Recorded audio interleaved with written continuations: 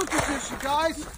Whoa, look at this massive piece. I gotta be really careful. He's really thinking. He's thinking twice on how to do this.